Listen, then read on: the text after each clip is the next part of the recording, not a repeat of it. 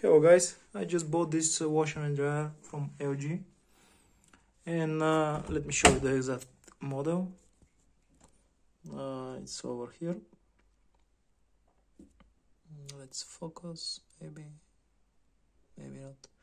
So uh, I just want to show you a few things that uh, you won't find on the internet and I was searching for them. First of all, yes, there is some kind of valve and a pipe from behind uh, let me show you. How does it look? It's here. So this is connected uh, uh, through this pipe goes all the way to the uh, drum or whatever. And uh, some kind of uh, moisture is escaping from uh, through this valve when the machine is working. Uh, I cannot tell you is it significant or not, but it's uh, uh air is uh, blowing out from this valve when it's working.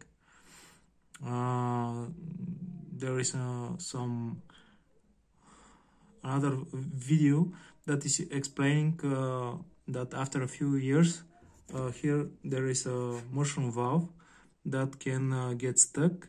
And moisture uh, actually not only moisture but water with uh, washing liquid can go out from the from this valve. It's easy fix but you should check the the video. The the other video. It's not mine. You can search for uh, for mushroom mushroom valve on internet. And uh, now another thing that uh, I want to show you. I chose this LG uh, in front of Haier uh, because of that. And it is uh, the sound isolation. You can see here on the wall. It's like a, a finger thick isolation I cannot uh, reach there but it's uh, almost a finger thick from both sides. And you have isolation actually on the top. So this is the only washing and dryer that uh, I saw uh, I that uh, has uh, such uh, isolation. Actually, that kind of isolation is kind of a problem because there is a very, very, a, a little uh, distance between the isolation and the drum. And when it's spinning, when it's working, the whole side wall is vibrating like this.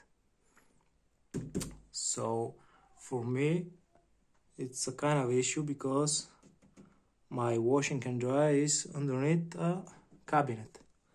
And it's hitting a little bit. The wall and the sound is not so great.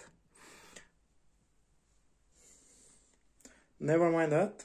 The washing machine is really quiet. Working really nice so far and I cannot uh, I have it from like uh, two days and I cannot tell you much more. I just wanted to show you the valve and the isolation that it has. So that's all. Thank you for watching